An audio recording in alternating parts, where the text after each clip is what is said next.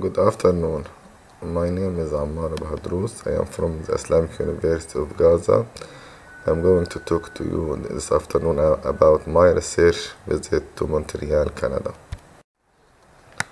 My research topic is to develop new differential enhanced or uh, double spatial modulation.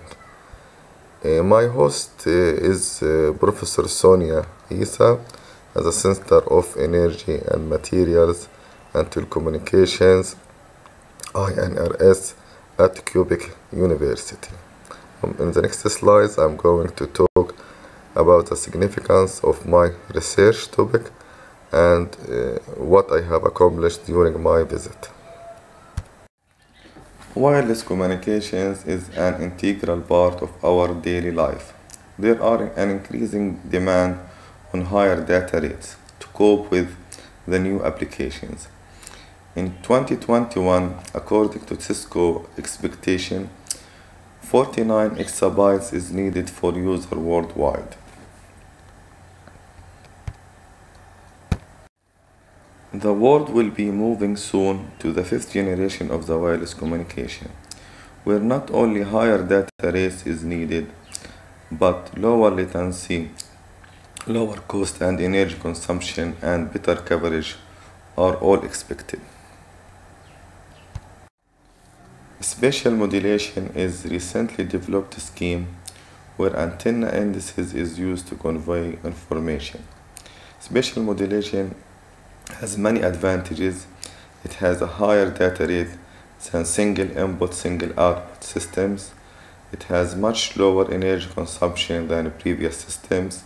It also has a flexible configuration. For all of these advantages, spatial modulation is a very good candidate to be applied in the fifth generation wireless communication. Still, it has some disadvantages to be overcome, such as it needs uh, an independent channel coefficients and it also has no transmit diversity. Therefore, the main objective of my research was to develop new spatial modulation techniques, especially differential ones, as well as providing a comparative study of the developed scheme with state-of-art schemes. The main other objective, which is also very important, is to set up a long frame of collaboration between the research group at INRS in Canada and the research group in Palestine at the Islamic University of Gaza. Due to his personal circumstances, I had to cut my research visit short uh, and return back to Palestine.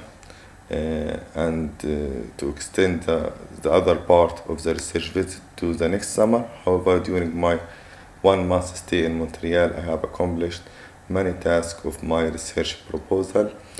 Uh, I also advise every Palestinian academic to join this program. It's a very good opportunity to develop your career and personal development.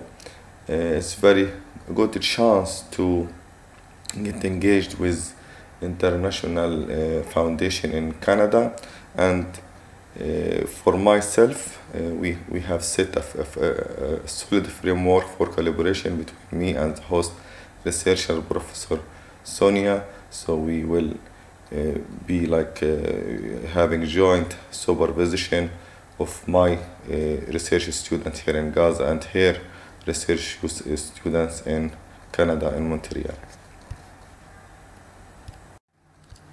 At the end, I would like to thank the Academy of Science and Technology in Palestine and the FRQNT in Canada for the Palestinian Quebec Science Bridge, uh, which gave us this opportunity uh, to visit uh, Canada and to do this research visit.